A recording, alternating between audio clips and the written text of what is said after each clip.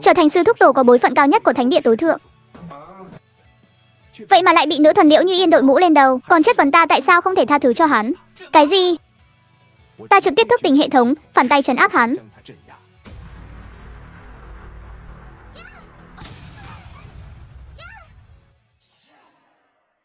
Muốn đối đầu với những kẻ ăn bám đúng không? Những người có thiên phú xuất chúng không phải là ít. Kẻ ăn bám thì càng nhiều, nhưng ăn bám có thiên phú xuất chúng là có ý gì? Tin, chủ nhân còn một phần quà tân thủ chưa nhận. Bây giờ có nhận không? Nhận. Chúc mừng chủ nhân nhận được linh căn tiên phẩm thanh linh. Sau khi nhận được bảo khí tiên phẩm từ phần thưởng hệ thống, góc miệng của cơ trí bạch nhếch lên, khó kiềm chế hơn cả ách đang bắn liên thanh. Ha ha ha ha. Thanh linh căn, đây còn quý hiếm hơn cả linh căn thiên linh vạn năm khó gặp, thậm chí còn có thể tùy ý chuyển đổi các loại linh căn khác nhau.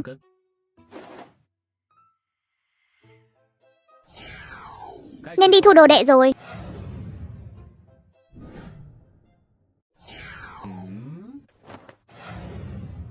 Gặp ta lập tức xếp hàng. Nói về tình cảm chân thành thẳng thắn, thực tế tu sáu hỗ trợ. Khởi đầu linh căn, ba loại linh căn mộc hỏa, thủy. Hiểu biết trung bình, khí chất trung bình. Một NPC tầm thường trong thế giới tu tiên. Tiếng Anh khá tốt. Cảm ơn sư thúc tổ đã khen. Nói về tình cảm chân thành thẳng thắn, tu 68 thước đã đạt đến cảnh giới tổ cơ, hậu kỳ linh căn, hai loại linh căn mộc hỏa. Hiểu biết trên trung bình, khí chất trên trung bình. Một NPC ăn bám kỳ cự có chút tiếng tăm nhưng thiên phú không đạt chuẩn. Một mầm non ăn bám tốt như vậy, đáng tiếc là tàn tàn đúng không? Phòng tạp dịch của môn phái ở đâu? Trường học nằm ở đại điện nhị tiên kiều. Đi thẳng theo đại lộ Nguyên Thành Hoa là được. Chúng ta có việc phải đi trước.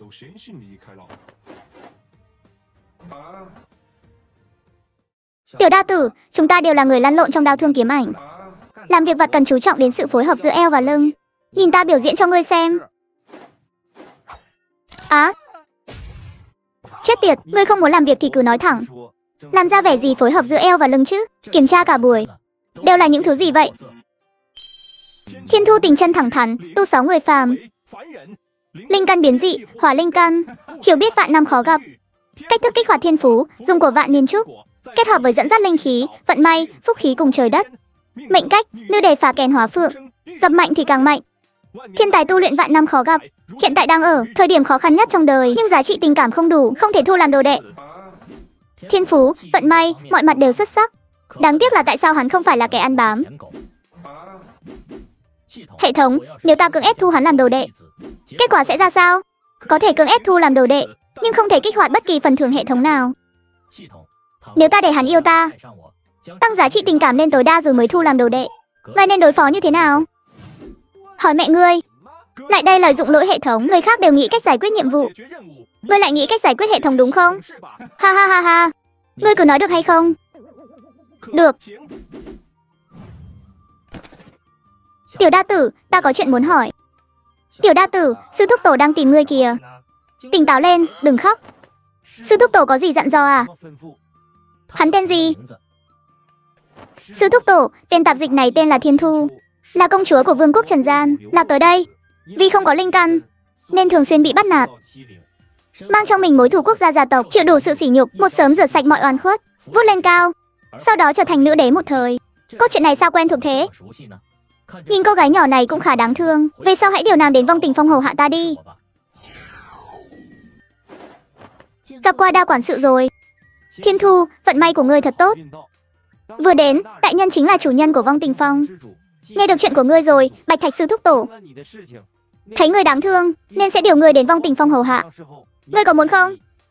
Thiên Thu nguyện ý. Tự mình đến vọng thanh phong báo cáo đi. Hay hay hay. Đi vòng quanh toàn bộ môn phái một vòng, ngoại trừ thiên thu kia, không có ai thích hợp cả. Con đường thu đồ đệ còn dài và khó khăn.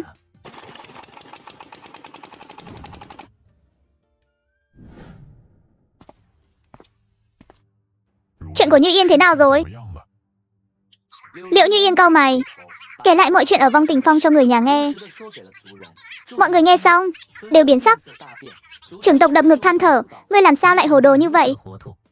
Cơ chí bạch dù có yếu đến mấy, thì cũng là chủ nhân của một phương thánh địa tối thượng. Ngươi lại đi ngủ với Diệp Phi, nói nhỏ thì là làm mất mặt cơ chí bạch. Nói lớn thì, đó là làm mất mặt thánh địa. Đó. Cha, con cũng không biết tại sao hắn đột nhiên thay đổi. Rõ ràng trước kia là kẻ ăn bám mà. Ta bảo ngươi đi xin lỗi, ngươi lại còn đặc biệt đi sỉ nhục hắn một chuyến. Để Như Yên gả cho hắn đi, không thì nhà họ Liễu chúng ta xong rồi. Liễu Như Yên nhìn về phía cha mình, chỉ thấy gia chủ nhà Liễu im lặng không nói. Đoán được ý nghĩ của phụ thân, Liễu Như Yên mỉm cười vui vẻ. Được rồi, con hiểu rồi. Con định đi đâu? Đến lúc đó con tự mình sẽ đi.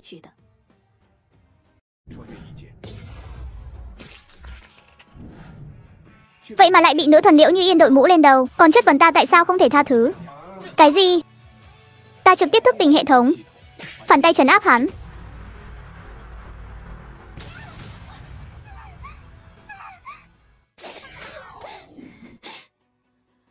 Liệu như Yên định bỏ trốn sao?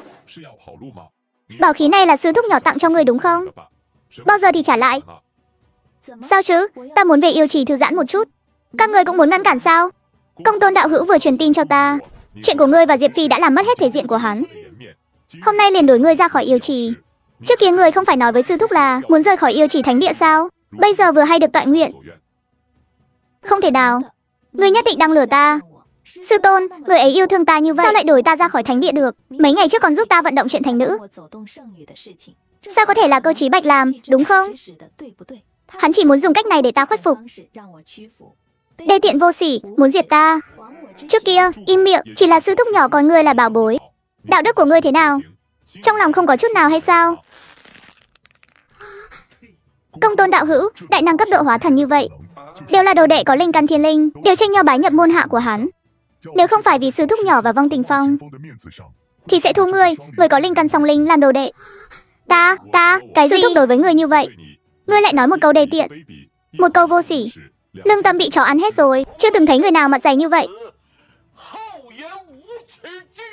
Á Á Ca ca, ta thấy ngươi thần thái sáng sủa Thậm chí tu sáu cũng ngầm có tiến bộ Sau hai năm nay gặp Liễu Như Yên Người mặt dày vô sỉ như vậy Thật sự làm ta khó chịu.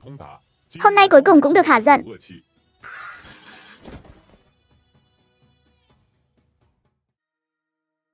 Nguyệt Nha, người nghĩ sư thúc tổ này thật sự đã tỉnh ngộ. Hay là vì muốn chiếm được thân thể của Liễu Như Yên chứ? Dựa vào phong cách làm người trước kia của sư thúc tổ, chắc là muốn dùng cách này để hù dọa Liễu Như Yên, để nàng hoàn toàn khuất phục. Hay hay hay, dạo này ta thấy vận may của thành đế đang hội tụ về hướng vong tình phong. Dường như sắp có đại hưng.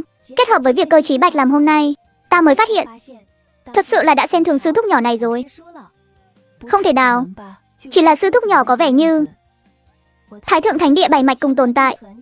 Hiện tại do ta, Vô Cực Phong, chủ trì thánh địa. Nhưng trước đó, lại luôn luôn là Vong Tình Phong là mạch chính. Thái thượng Vong Tình Đạo. Đúng vậy, nhìn hành động của cơ trí bạch gần đây, rõ ràng là con đường của Vong Tình Đạo. Đây là muốn mượn tàn kinh, dùng sự hiểu biết của mình để khôi phục lại truyền thừa của vong tình. Nếu thật sự thành công, đối với thành đế ta mà nói là một chuyện tốt lớn. Sư thúc tổ thật sự lợi hại như vậy sao? Nhưng lại bị người ta đội mũ lên đầu. Phương pháp tu luyện này quá mức bá đạo. Lấy một bảo khí cấp bậc thiên phẩm cực phẩm tặng cho hắn. Cứ nói là ta thấy những năm nay tài nguyên tu luyện của hắn đều cho Liễu Như Yên hết rồi. Trong lòng không đành lòng, nên tặng hắn một bảo khí. Mong hắn về sau đừng vì tình mà khổ sở. Đệ tử tuân mệnh. Cơ chí bạch, ta hy vọng người đừng làm ta thất vọng. Hừ.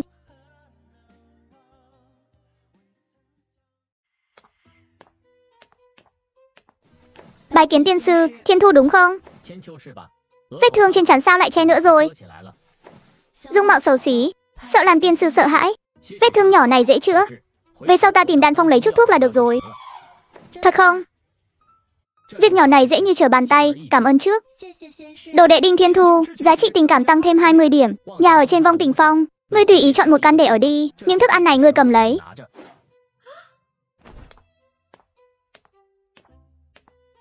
Vô cực phong, triệu tâm nguyệt. Tân mạnh sư tôn đến bái kiến sư thúc tổ. May mong, lữ sư phái người đến. Vì chuyện gì? Sư tôn có nói, trước kia sư thúc tổ bị tình cảm ràng buộc, lãng phí rất nhiều tài, nguyên, người ấy không đành lòng. Đặc biệt sai ta mang thanh kiếm này đến cho sư thúc tổ. Mong sư thúc tổ có thể hiểu thấu được cõi lòng. Thủy kiếm, bảo khí cấp bậc thiên phẩm cực phẩm. Kiếm tốt, kiếm tốt. Vậy thay ta cảm ơn lữ sư phái. Nguyệt Nha nhất định sẽ truyền đạt lại.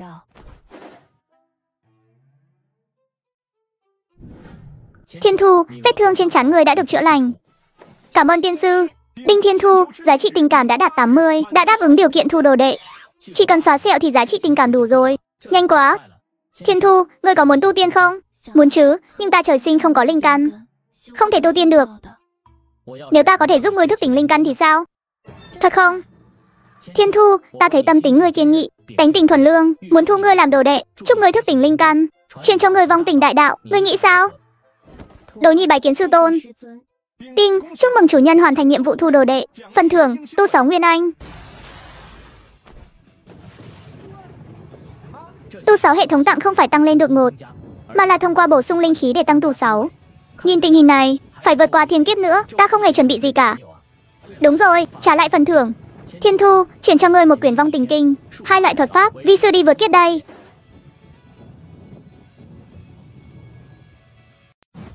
Sắc của tiên đế này lợi hại cỡ nào?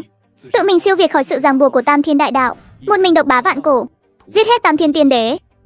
Ngàn năm sát phạt nghiệp chướng khủng bố như vậy, làm hắn phải chịu sự trừng phạt vô tận của thiên đạo. Lần này thiên đạo không tiếc sử dụng lực lượng cấm kỵ, chém đứt không gian thời gian của quá khứ, ngăn cách mọi khả năng.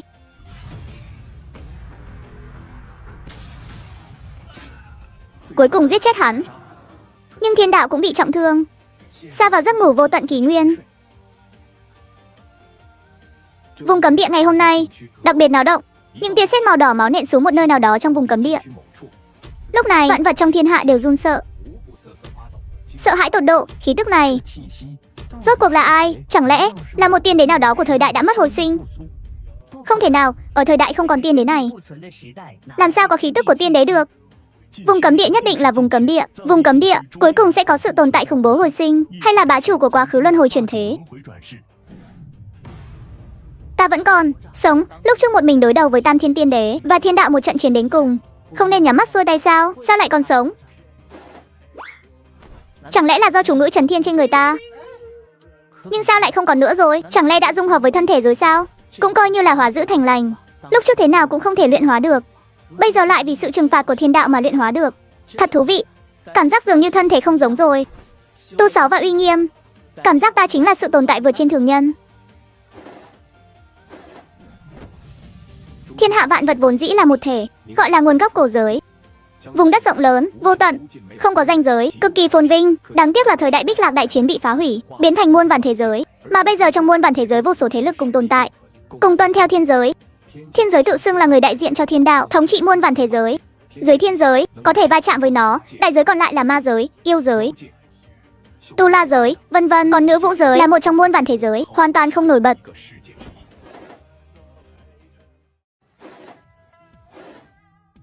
khí vận thịnh vượng, mọi loại con trời ngang ngược. Thật là một thời đại kỳ lạ. Thiên đạo, người đang mưu tính điều gì? Giữa ta và người cuối cùng vẫn phải giao chiến một trận. 30 năm Hà Đông, 30 năm Hà Tây, thú vị. Tường vận, ngươi là con trời của vân vũ giới sao? Ngươi lại đang chơi trò gì nữa?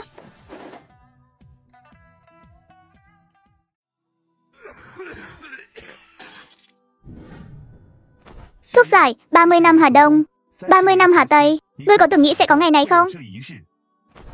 Ha ha ha Ta hối hận Hối hận lúc trước không nhờ tổ sư ra tay trấn áp ngươi Đúng là trừ cỏ không diệt tận gốc Xuân phong lại thổi. Nhà ngươi ngang ngược độc ác. Tùy tiện tàn sát các môn phái nhỏ. Bây giờ của báo đã đến đầu nhà ngươi. Ta từng vận là người được trời định. Nhà ngươi lấy cái gì mà đấu với ta? Bây giờ ngươi diệt nhà ta. Ngươi và ta có gì khác nhau? Kẻ hai lòng tiểu nhân Mà bây giờ ngươi bị ta đạp dưới chân Toàn bộ nhà họ tường cũng vì ngươi mà diệt môn Có hối hận khi xưa đổi tận giết tuyệt không Cướp vợ chưa cưới của ta. Vợ ta bị sỉ nhục, diệt nhà ta. Cuối cùng hỏi ngươi một lần Ngươi có hối hận không? Hắn rất nhanh chóng, đáng tiếc chết quá nhanh. Chỉ có thể tranh thủ lúc còn nóng. Không có phản hồi, không có phản kháng Không có thú vị gì cả, đáng chết, ngươi đáng chết. Không chỉ ngươi phải chết Toàn bộ các nhánh của nhà ngươi đều phải chết. Thuốc sổ, tất cả đều là vì ngươi.